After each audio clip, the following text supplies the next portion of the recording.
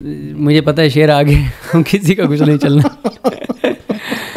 आप जिसका तरफ़ इशारा कर रहे हैं ना वो शेर ही अगर थोड़ी सी मेहरबानी कर दे तो कर दे। वरना शेर से तो एग्जांपल के तौर वरना उस मेरे शेर से अभी आपने कहा तो मुझे लगा वरना बात कहीं और वरना उस शेर से बचना जो है ना वो मुमकिन नहीं है। बस अल्लाह ताला महफूज रखे उस शेर से और वो शेर खुद थोड़ी सी तो कोई दोस्त नहीं आएगा आपको बचाने। कहता था कि भाई सिक्सटी सेवेंटी परसेंट तो ज़िम्मेदारी महँगाई की वजह इंटरनेशनली थी कोविड आ गया वो सारी चीज़ें और उसके बाद फिर पूरी दुनिया में एक महँगाई की लहर आई। लेकिन थर्टी फोर्टी परसेंट में ये कहता था कि इमरान खान की टीम की नाहली और नाकामियाँ बहुत सारी चीज़ें करते थे। लेकिन और इस तरह से बहुत मंसूर अली खान शाहजेब खानजादा और इमरान रियाज में से कौन गैर जानबदार है? देखें आ, बात यह है कि इमरान भाई का मैंने उसमें उनको यही कहा था कि मैंने कहा आपको ये कहा जा रहा है कि मैं मुझे ऑफ़र है ज़्यादा पैसों की।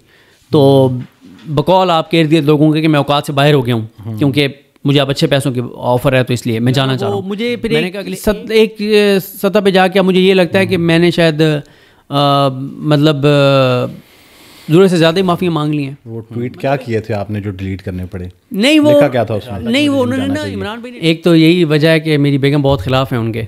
असदुल्ला अच्छा। खान साहब के। अच्छा। क्योंकि वो ये कहती है कि मेरी कभी कोई बात उस तरह से नहीं मानी जिस तरह से असदुल्ला खान साहब की बात मानते हो उनकी हर बात मानी जाती है। अच्छा। तो इसलिए मेरी बेगम के बड़े तफजात हैं उनके हवाले से। मैं हूँ यासिर जंजुआ। आज सोलह जनवरी है और दिन है मंगल का। और रात के तकरीबन दस बज चुके हैं और हमारे साथ हैं सदीक जान साहब। अलैक्म सर। वालेकुम अस्सलाम। ये मेरे इंट्रो का कोई कॉपीराइट तो नहीं आएगा? नहीं अच्छा सदीक भाई thank you so much ji आपने वक्त दिया। और जब मैं पॉडकास्ट प्लान कर रहा था तो मैंने कहा कोई सियासी गुफ्तु नहीं करूँगा। लेकिन वो जब मैंने सवाल सोचना शुरू किए तो मैंने कहा अगर मैं सदीक जान से पॉडकास्ट के दरमियान सियासी सवाल नहीं करूँगा तो मौसम का हाल बाकी रह जाएगा। बिल्कुल ऐसे ही है। तो सर सबसे पहले आजकल के जो मौजूदा सूरत हाल है इलेक्शन की बल्ले का निशान भी चला गया। फिर ऐसे निशानात आना शुरू हो गए।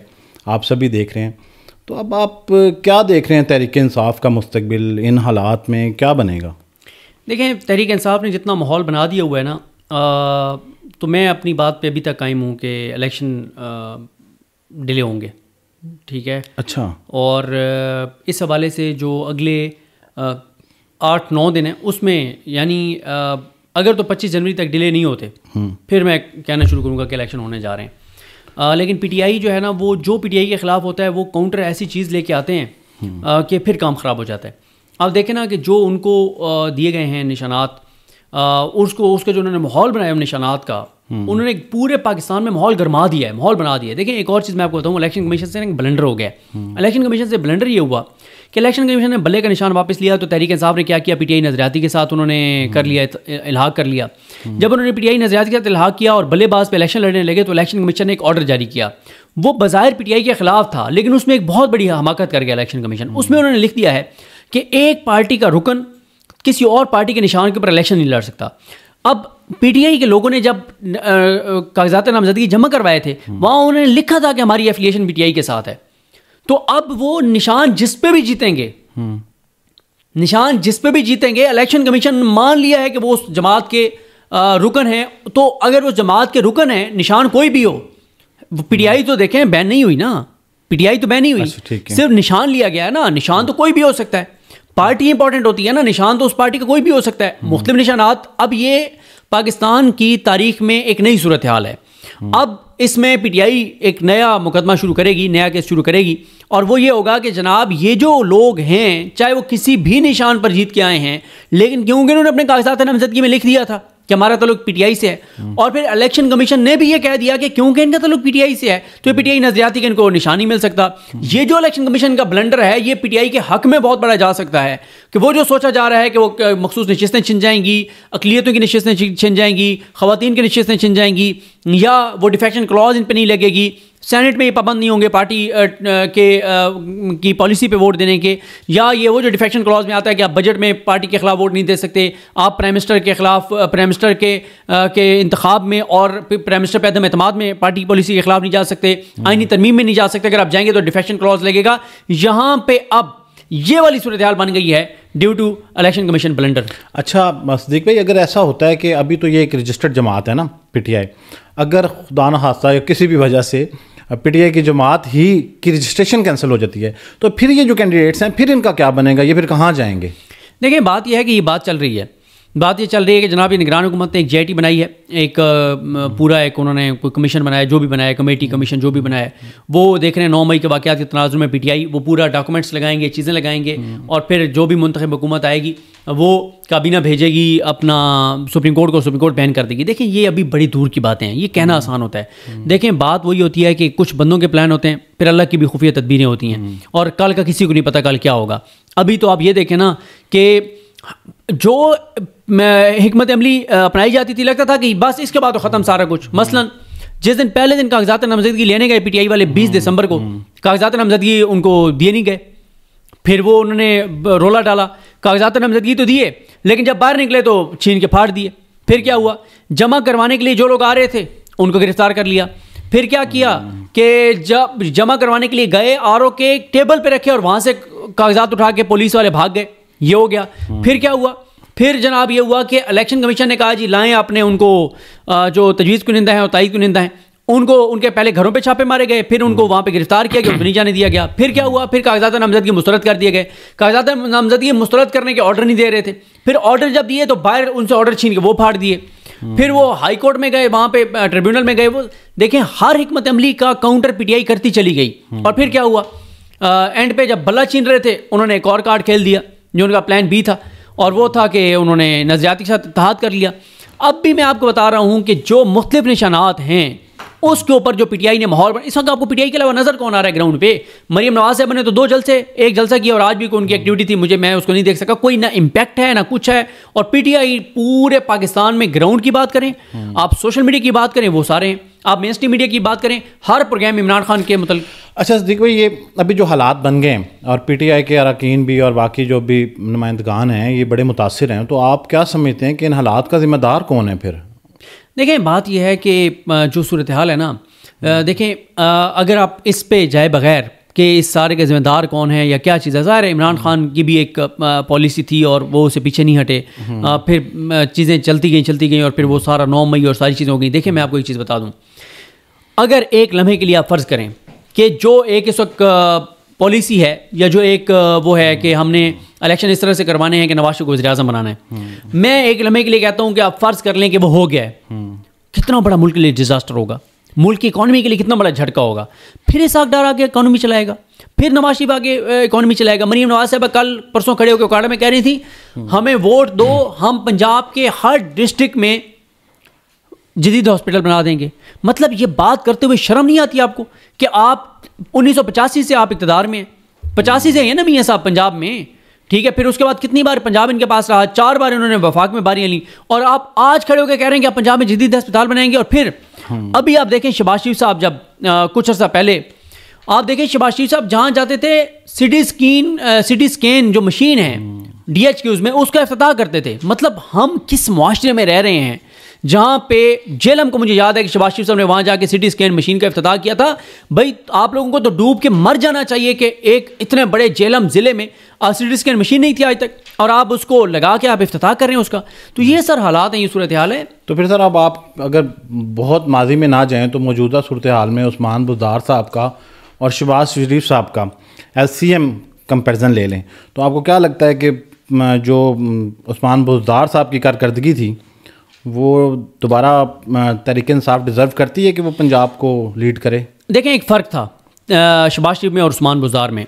शबाज शरीफ साहब प्राइम चीफ मिनिस्टर भी खुद थे वज़ीर सेहत भी खुद थे वज़ीर ट्रांसपोर्ट भी खुद थे वज़ीर दाखिला भी खुद थे। यानी हर काम शबाज शरीफ साहब ने खुद करना है। उनको वो शो बाजियों का बड़ा शौक है रंग बाजियों का बड़ा शौक है, बूट चढ़ा लिए, ये कर लिया वो ड्रामेबाजियाँ अदाकारी, उनको बहुत आती थी। मसला ये है कि उस्मान बुजदार के दौर में वज़ीर सेहत अगर यासमिन राशि साहबा थी तो वो बाख्तियार थी। हर मिनिस्ट्री में बाख्तियार बने मतलब ये नहीं कि वन मैन नहीं है। हम्म। लेकिन वो एक पंजाब का मिजाज बन गया था कि डंडे के साथ ब्यूरोक्रेसी को आपने चलाना है बहुत उनकी कमी बताई थी। लेकिन एक बात आप देखें यासिर साहब अगर हम उस सारे बयानियों को ठीक मान लें कि उस्मान बुजदार तारीख का करप्ट तरीन चीफ मिनिस्टर था उस्मान बुजार के दौर में करप्शन बहुत हुई फ़रा गोगी ने यह कर दिया इमरान खान की अलिया ने यह कर दिया फलाने ने पैसे पकड़ लिए फलाने ने पैसे पकड़ लिए और मेन किरदार उसमें हर चीज़ में उस्मान बुजार था। उस्मान बुजार आज बाहर क्यों है सर? चले उससे भी आप पीछे चले जाएँ। शबाज शरीफ आ गए थे ना अप्रैल 2022 में? आ गए थे ना? अगस्त 2023 में गए हैं ना? 18 माह में उस्मान बुजार पे क्यों कोई केस नहीं बना सके? भाई ये तो हमें साढ़े तीन साल में इमरान खान के ये हमें बताते रहे कि उस्मान बुजार ने तबाह कर दिया बर्बाद कर दिया फ़र्क होगी फलाना ढींगना ये वो। क्यों को केस नहीं बनाया सर उस्मान बुजार पे? शबाज शरीफ ने क्यों नहीं बनाया? वो प्रोपेगेंडा झूठ था गलत था। हाँ उस्मान बुजार के ऊपर मेरे अपने खुद बहुत से तफजात हैं। कि यहाँ पे एक बड़ा जानदार, बड़ा तेज़, बड़ा एक्टिव बंदा चाहिए था जो ब्यूरोक्रेसी को नथ डाल के रखता। ब्यूरोक्रेसी का एक मिजाज बन गया है हमारी। लेकिन वो जो मैं तो उनसे सवाल कर रहा हूँ ना, जो कहते थे कि वो बदतरीन और करप्ट तरीन बंदा है, क्या केसेस उन्होंने बनाए? अच्छा सर सियासत से ज़रा बाहर आते हैं और आपके मतलब जानने की कोशिश करता हूँ मैं कि बोल जो है, वो आपने क्विट कर दिया। मेरे ख्याल में मैनेजमेंट जैसे चेंज हुई तो वो आपने आपका डिसीज़न था या इदारे का डिसीज़न था कि आप छोड़ दें? देखें हुआ ये था कि मुझे उन्होंने ऑफेयर किया और आई थिंक ये तेईस अगस्त की तारीख थी। हम्म। तो मुझे अचानक कॉल आई और उस दिन हुआ ये था कि मैंने आ, सुप्रीम कोर्ट में कोई इमरान खान साहब के हवाले से कोई डिसीज़न आया था या ऑब्जर्वेशन आई थी। हम्म। मैंने उस पर ट्वीट्स किए मैंने उसके ऊपर वीलॉग किया। तो मुझे चैनल से कॉल आई कि जनाब हुक्म ये आया है कि सदीक जान को ऑफेयर कर दिया जाए फौरी तौर पे। हम्म। और फिर दूसरा उन्होंने मुझे कहा कि जनाब वो ये आया है कि आपको बिपर पे भी नहीं लेना न्यूज़ में। हम्म। तो ये वाला मामला है तो बड़ा काम ख़राब हो गया। मैंने कोई मसला नहीं है। मैंने उसी दिन रिज़ाइन कर दिया। मैंने कहा यह तासर ना जाए कि मैं ये चाहता हूँ कि जनाब आ, मैं ऑफ़र भी रहूँ और साथ में तनख्वाह भी बनती रहे। मैं मैंने कहा मैं इस मिजाज का बंदा नहीं हूँ। मैंने उसी दिन रिज़ाइन कर दिया। आ, फिर वो मेरा रिज़ाइन एक्सेप्ट ना हुआ। फिर मैंने डायरेक्ट एक कैप्टन साहब को वहाँ बिठाया गया था। आ, उनको मैंने रिटायर्ड कैप्टन तो ये ना वो लोग कहें कि पता नहीं हाजिर सर्विस को बिठा दिया था। तो उनको बिठाया गया तो मैंने उनको फिर डायरेक्ट उनको रिज़ाइन भेजा। पहले मैंने इनडायरेक्ट जो जिनको मैं इमीडिएट मेरे बॉस थे उनको मैंने कहा। फिर मैंने उनको डायरेक्ट भेजा। आ, फिर मैंने मतलब एक और रिज़ाइन भेजा। तो मैंने कहा यार जो भी आपने करना है करें। गो कि उन्होंने फिर डिज़ाइन एक्सेप्ट नहीं किया था। आ, लेकिन जनाब वो अचानक उन्होंने कहा जी बस ठीक है ख़त्म और ये वो सारा कुछ। लेकिन हम तो पहले ही वो छोड़ चुके थे। आ, हम तो पहले ही नहीं जा रहे थे ऑफ़िस लेकिन बड़ा तकलीफ़ दे है बोल जहाँ तक गया। जितनी उसने अपना नाम बनाया नाम कमाया। और जिस तरह से आके और इन पता नहीं मुझे तो अब इनकी क्रेडिबिलिटी के ऊपर भी शक है कि ये जितने ये मालिक हैं जो चिश्ती बरदरान जो जिनको बड़े बड़े फ़ायदे बताया जाता है कि दिए गए हैं कि इलेक्ट्रिक में और इधर उधर तो पता नहीं ये कैसे इनके फाइनेंशियल मामला हैं इन्होंने तो आके बोल को तबाह कर दिया लोगों की वो नहीं दी सैलरीज नहीं दी और वॉशरूम्स में साबुन तक नहीं पड़ा हुआ पीने का पानी नहीं है और बड़ी कोई अजीब सी सूरत हाल है मतलब कोई कब्रस्तान जैसा माहौल बना दिया उन्होंने बोल के अंदर। बहुत सारे लोगों को यह तजस है कि रऊफ़ क्लासरा साहब की आपकी नाराज़गी कब ख़त्म होगी तो पहले तो नाराज़गी की वजह बहुत सारे लोग जानते भी नहीं उसको थोड़ा सा एक्सप्लेन करें और फिर इतनी मोहब्बत इलाका भी सेम और वो सारी हिस्ट्री आपकी सोशल मीडिया पे मौजूद है कि एक नौजवान को जब कॉल आती है तो वो शोर से निकल के खामोशी में जाता है हाँ। कि कहीं रऊफ़ लासरा साहब कॉल ना काट दें हाँ। तो वो वाले लम्हात और फिर आज इतनी दूरी देखें वो मेरी तरफ़ से तो अकीदत उसी तरह की है वो जैसे आपने बताया वो बिल्कुल मुझे याद है मैं लाहौर में मुकद्दस होटल है सेंट्रल फ्लैट्स में कोटा पिंड के हाँ, हाँ जी तो वहाँ हम बड़ा जाया करते थे अमजद जट साहब मैं हम वहाँ बैठा करते थे तो मुझे वहीं पे मैं था तो आ, मतलब वहाँ से अंदर की तरफ़ जा रहा था तो क्लास साहब की कॉल आई तो मैं भाग के साइड पे हुआ कि यार हम्म। इतने बड़े बंदे की कॉल आई है कहीं वो ये ना हो कि दूसरी तरफ़ से शोर आ रहा है तो वो कॉल ही ना काट दें। तो बात यह है कि वो तो मैं उसमें नहीं जाता नाराज़गी की क्या वजूहत थी। लेकिन आपको ये सवाल क्लासा सबसे पूछने चाहिए कि कब वो मेरे से सलाह करेंगे? मैंने तो इतनी बार माफ़ी मांगी कि जितनी बार मांगी जा सकती थी।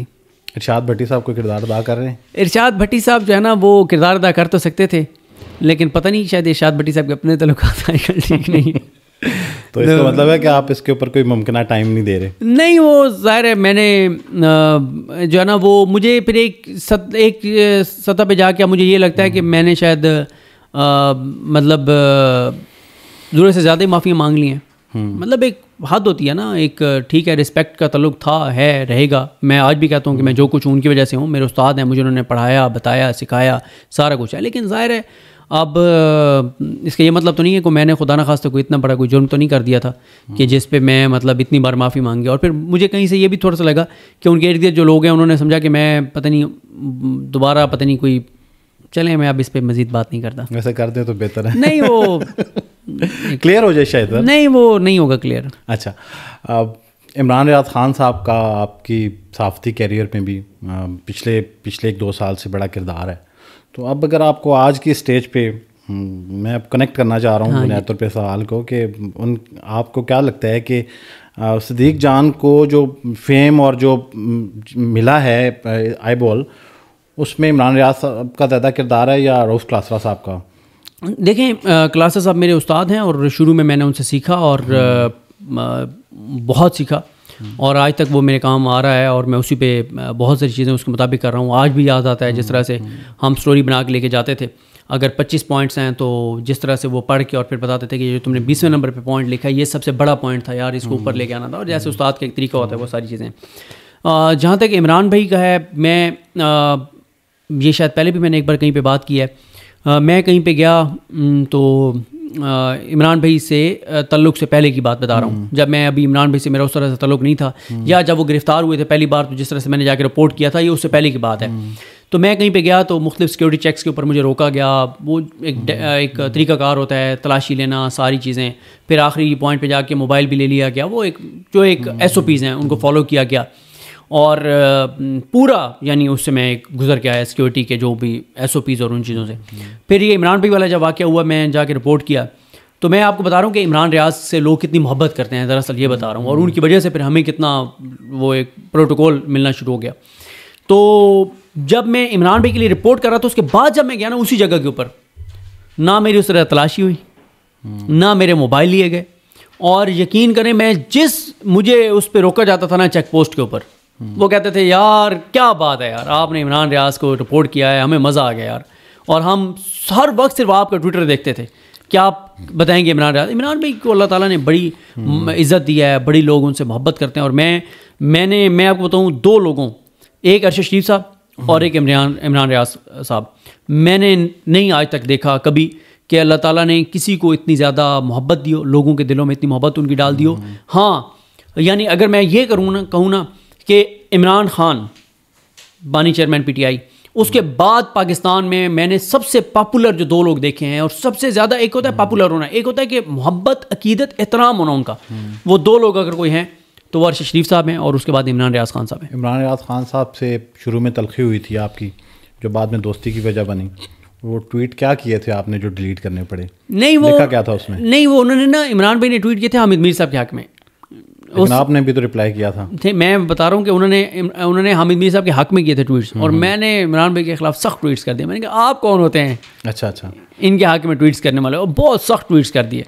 हम्म। फिर मुझे रियलाइजेशन हुई कि नहीं यार वो इमरान भाई का ज़ाहिर एक स्टांस था। देखे ना आज जो लोग कहते हैं हम्म। इमरान रियाज ये इमरान रियाज वो उनके क्लिप्स मौजूद हैं कि जब जब किसी साफी के साथ जुल्म हुआ तो उन्होंने उस पर क्या उनका मौकफ था। और मैंने भी उन पर तनकीद यही की थी उस वक्त तो हम और किसी मतलब हमारा एक ज़ाहिर है कई बार सख्त ट्वीट्स भी कर जाते थे चीज़ें कर जाते थे करते थे। तो पहले बहुत ज़्यादा करते थे आप कभी कभी करते हैं। तो वो मैंने इमरान भाई को कहा कि आप क्यों हामिद मीर साहब को डिफेंड कर रहे हैं? और ये बिल्कुल ठीक हुआ है ये, ये शायद उनका कोई प्रोग्राम बंद हुआ था इस तरह की बात। तो वो बाद में फिर ज़ाहिर है वो एक मैंने माजरत की और वहीं से फिर ज़ाहिर है उनसे एक तल्लुक शुरू हो गया। अच्छा क्योंकि साफ़ियों की बात चली रही है तो आपको इमरान साहब को माइनस करके इसके अलावा आपका फेवरेट साफ़ी कौन है?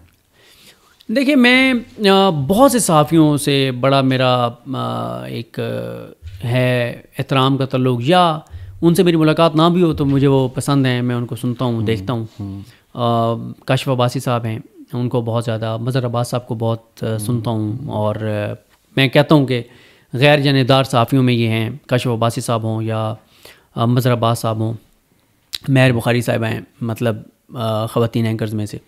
और इस तरह से बहुत मंसूर अली ख़ान शाहजेब खान ज़्यादा और इमरान रियाज में से कौन गैर जानबदार है देखें आ, बात यह है कि इमरान भाई का जो एक पॉइंट ऑफ़ व्यू है जो उनका एनालिसिस है वो पूरी दुनिया को पता है हम्म। पूरे पाकिस्तान को पता है कि वो कहाँ खड़े हैं सरेआम खड़े हैं ना खुल के खड़े हुए हैं कोई ढके छुपे नहीं हैं हम्म। कि वो जिसको ठीक समझते हैं ठीक कहते हैं और इमरान रियाज साहब उन लोगों में से नहीं है जिनको लिखा लिखा है स्क्रिप्ट दिया जाता है हम्म। कि आपने इसको जो है वो पढ़ देना है।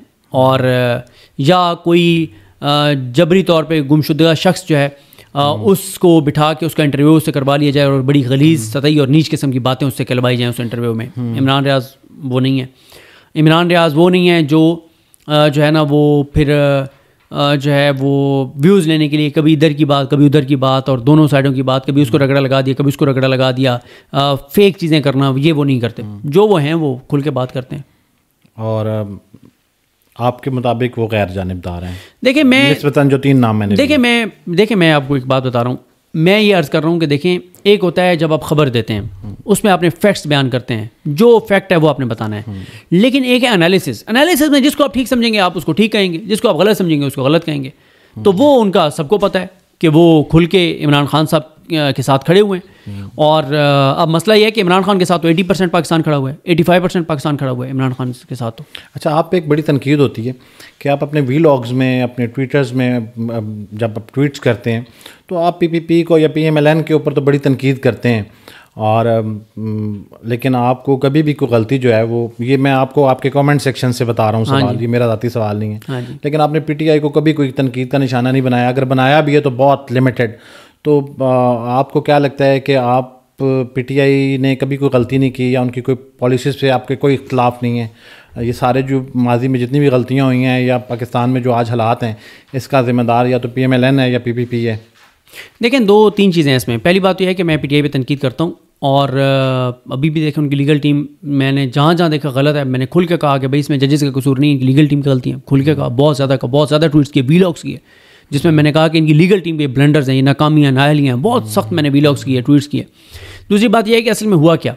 मैंने सर दो हज़ार सोलह सत्रह में यानी मीडिया में आया और उसके बाद फिर वो जब पनामा आया, पनामा में जाकर रिपोर्टिंग शुरू की तो अदालतों में मामला ही नवाज़ शरीफ साहब का कच्चा चट्टा खुल रहा था। फिर उसके बाद 2018 मतलब उसके बाद फिर इमरान खान हुकूमत में आ गए। हुकूमत में जब वो आए ज़ाहिर है नई नई चीज़ थी और आप एक एक ज़ाहिर है पहली बार एक हुकूमत बना रहे हैं इमरान खान साहब और थोड़ा सा उनको टाइम मैं समझता हूँ देना भी चाहिए था। और बहुत सारी चीज़ें वो गलत जो उनसे हो रही थी उनको हम एक लिमिट तक निशानदेही करते रहे लेकिन ये नहीं होता कि आप एकदम माहौल बना देते हैं क्योंकि उस वक्त पूरा एक पूरी कंपेन भी चल पड़ी थी इमरान खान साहब के खिलाफ। तो वो नहीं हम कर रहे थे उसका हम हिस्सा नहीं थे। बहुत सारी जगहों पे हम जो बात करते थे उसको एक वो देखते थे करते थे सारा कुछ। फिर उसके बाद क्या हुआ? कि महँगाई हुई इमरान खान के दौर में बहुत ज़्यादा हुई। उस पर मैं बात करता था वीलॉग्स मौजूद है मैं कहता था कि भाई सिक्सटी सेवेंटी परसेंट तो ज़िम्मेदारी महँगाई की वजह इंटरनेशनली थी। कोविड आ गया वो सारी चीज़ें और उसके बाद फिर पूरी दुनिया में एक महँगाई की लहर आई। लेकिन थर्टी फोर्टी परसेंट में ये कहता था कि इमरान खान की टीम की नाहली और नाकामियाँ बहुत सारी ये चीज़ें करते थे। लेकिन अब मसला ये है ना कि एक तरफ़ है साढ़े तीन साल हुकूमत वाला एक तरफ़ है चालीस पैंतालीस साल की हुकूमत वाले। दूसरी तरफ़ ये है ना कि मुझे बताएँ कि इमरान खान के खिलाफ जो केसेस हैं मुझे बताएँ कौन सा जनवन केस है? जो हाँ ये जो तोशाखाना वाला है उसका एक अखलाकी पहलू है। मैं ये समझता हूँ कि इमरान खान साहब को ये नहीं करना चाहिए था कि तोशाखाना से गिफ्ट लेके और उनको बेचना। ये मैं समझता हूँ नहीं करना चाहिए था। लेकिन इसमें कानूनी तौर पे कोई कदम नहीं है बल्कि इमरान खान ने तो आके उसकी वो बढ़ा दी कीमत बढ़ा दी। पहले था चंद पता नहीं पंद्रह परसेंट बीस परसेंट आप पैसे देके तोशखाना का गिफ्ट ले लेते थे। इमरान खान ने उसको फिफ्टी परसेंट पे कर दिया। कानूनी तौर पे उसमें कोई गलत नहीं है। बाकी मुझे बताएँ जितने आपने केसेस बनाए हैं उसके ऊपर वो सारे फेक हैं। फेक हैं तो हम उसको फेक ही कहेंगे भाई। और अगर शरीफ खानदान ने करप्शन लूट मार किया तो कहेंगे ना करप्शन लूट मार किया है। अगर उनका पनामा मैंने पूरा सुना है उसका ट्रायल नीचे कवर किया है। अगर उसके बाद अपीलें हाई कोर्ट में उस वक्त तक कवर किए हैं जब तक अदालतें जो है वो डॉक्यूमेंट्स देख के फैसले कर रही थी उस वक्त तक मैंने कवर किया। और उसके बाद जब वो ज़बरदस्ती बरी हुए हैं मुझे बताएँ एक रुपये एक रसीद उन्होंने दिखाई है बगैर रसीदें दिखाए बरी हुए हैं। सदीक भाई आपको कभी खुद नहीं लगता कि आप अगर सहाफ़ी ना होते और वकील होते? तो एक, एक बहुत अच्छे वकील होते। हाँ ये बात ठीक है वकील होता तो अ, एक अच्छा एक प्रोफेशन है और मज़ेदार है। तो आप सहाफ़त के साथ एल करने का नहीं सोचते? नहीं अब पहले भी हम पढ़ने में बड़े नालायक थे अब तो बिल्कुल मुमकिन नहीं है। अच्छा। सदीक भाई जब सहाफ़ती करियर का आपने आगाज़ किया तो दो चीज़ें बड़ी इंपॉर्टेंट होती हैं। किसी भी इंसान का कोई करियर जब वो स्टार्ट करता है या वो एक शोहरत होती है और एक पैसा होता है। तो वैसे आपके लिए तरजीह क्या चीज़ थी ज़िंदगी में? अपने करियर के आगाज़ में शोहरत आपकी तरजीहत में से थी या पैसा आपकी ज़्यादा तरजीह थी? नहीं ये दोनों चीज़ें मेरी तरजीह में नहीं थी। अच्छा। मैं आपको बताऊँ मेरा एक जुनून और इश्क था ये काम और मैंने जुनून और इश्क की तरह किया है। तो कोई ये नहीं था मेरा कि मैं मुझे बिल्कुल अंदाज़ा नहीं था। कभी मैंने नहीं सोचा था कि एक टाइम इस तरह का आएगा कि मतलब ये सारी चीज़ें होंगी। तो मेरा ख्याल है कि हम लोग देखें अगर पैसे को देख के काम करेंगे या पैसे के लिए काम करेंगे तो दोनों सूरतों में आप आगे नहीं जा सकते। जब मैं 92 में काम कर रहा था तो पच्चीस हज़ार मेरी तनख्वाह थी।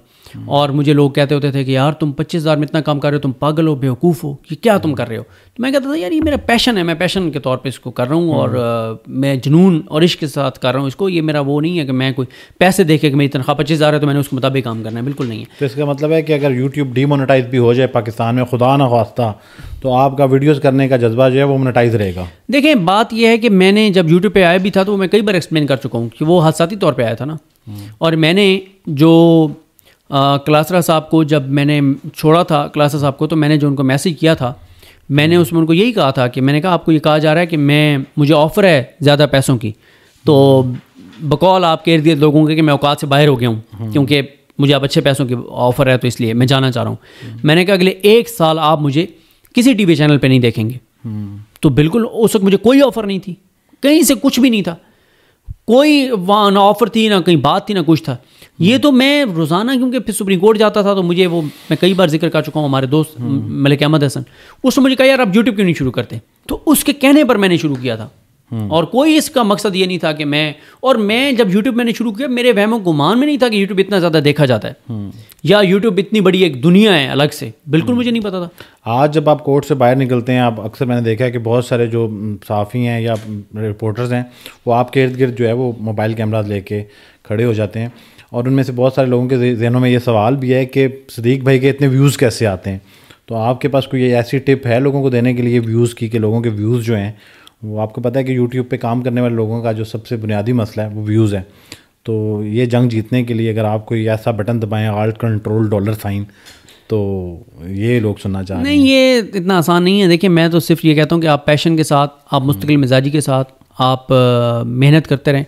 और ओरिजिनल कंटेंट होना चाहिए ग्राउंड पे जाके चीज़ें करें और या अगर हम्म। आपने बैठ के स्टूडियो में भी करना है तो आपकी रिसर्च हम्म। अच्छी होनी चाहिए आपकी तैयारी अच्छी होनी चाहिए आप पूरी तैयारी के साथ करें तो टाइम हम्म। लगता है लेकिन आप इस्टेब्लिश हो जाते हैं दो जमा दो चार की तरह अल्लाह ताला का वादा है जो मेहनत करता है उसको उसका फिर फल मिलता है अच्छा और एक हाइपोथेटिकल क्वेश्चन है मेरे पास आखिर में आपके लिए कि खुदा न खास्ता अगर आप मैं आपके दोस्तों आपके दोस्तों का हल्का बाप बहुत बड़ा है यकीन कुछ दोस्त बहुत करीबी होते हैं और कुछ जो है वो आपके दोस्त होते हैं। आप कहीं नॉर्दर्न जाएँ और किसी जंगल में खो जाएँ और शेर आपको घेर ले तो कौन सा दोस्त आपके जहन में आता है कि ये ज़रूर आएगा मुझे बचाने के लिए?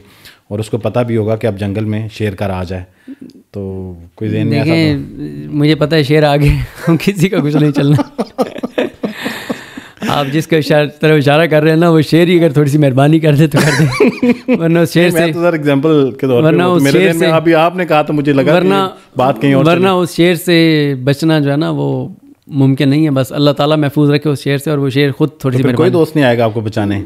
दोस्त मैं मैंने जो ज़िंदगी में सबसे ज़्यादा कमाए हैं वो दोस्त ही कमाए हैं ज़ाहिर है दोस्त हैं मेहरबान हैं बहुत से मोहब्बत हम्म। करने वाले और लेकिन ज़ाहिर है ये इस वक्त यह है कि बस अल्लाह से दुआ करनी चाहिए कि अल्लाह ताला शेर से महफूज ही रखे। कोई ऐसी वीडियो की हो ऐसा व्लॉग किया हो जिसको अपलोड करने के बाद आपको खुद ख्याल आया हो कि यार ये नहीं करना चाहिए था। आ, तीन चार ऐसे व्लॉग थे और शायद कोई एक आध मैंने डिलीट भी किया। ये होता है किसी के कहने पे या खुद? खुद से। कभी मैंने कभी किसी के कहने पे नहीं किया। आ, खुद होता है कि आप करते हैं आपको बाद में रियलाइजेशन होती है कि यार नहीं ये ज़रा गलत हो गया। अक्सर आप गुस्से में होते हैं ना ज़रा। हम्म। मेरा सबसे बड़ा मसला है कि जब मैं ट्विटर देख लूँ तो ज़रा ब्लड प्रेशर ऊपर नीचे हो जाते हैं। और मैंने ये भी सुना है कि जब आप कोई फैसला कर लेते हैं तो फिर आप वो कर जाते हैं। वो कर जाता हूँ लेकिन वही बात है ना कि वो ट्विटर असल में इतनी फ्रस्ट्रेशन इस वक्त है चीज़ें आप देखते हैं ऐसे ही आपको फितरी सी बात है गुस्सा आ जाता है सदीक भाई आपको पता है कि असदुल्ला साहब जो है वो चार मुल्क दौरा पे जा रहे हैं और आपकी बड़ी गहरी दोस्ती है बल्कि मुझे लगता है कि कोई शाम ऐसी नहीं गुजरती जब वो आपके साथ ना हो। तो सबसे पहले तो बताएँ कि ये जिम का सिलसिला उन्होंने आपको मशवरा दिया था कि ये आपका ज़ाती ख्याल था कि मुझे जिम जाना चाहिए। एक तो यही वजह है कि मेरी बेगम बहुत ख़िलाफ़ है उनके असदुल्ला अच्छा। खान साहब के। अच्छा। क्योंकि वो ये कहती है कि मेरी कभी कोई बात उस तरह से नहीं मानी जिस तरह से असदुल्ला खान साहब की बात मानते हो उनकी हर बात मानी जाती है। अच्छा। तो इसलिए मेरी बेगम के बड़े तफजात हैं उनके हवाले से। अच्छा। और अक्सर जो चीज़ें मैंने असद भाई के कहने पर नहीं भी की होती पढ़ उन पर जाती हैं। अच्छा। ये भी असदुल्ला खान ने कहा होगा।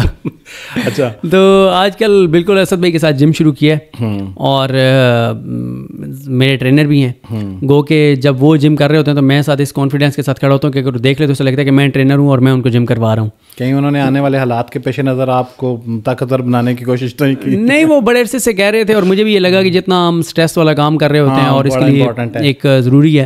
आ, तो इसलिए जो है वो शुरू किया। फिर डॉक्टर सजाद जो मेरे मामू हैं उनकी बड़ी स्ट्रॉन्ग रिकमेंडेशन भी थी। उनका था कि लाजमी करो जितना ये सारा दिन मीडिया ये वो चीज़ें पढ़ पढ़ के सुन सुन के और देख के एक अजीब सी सूरत हाल होती है।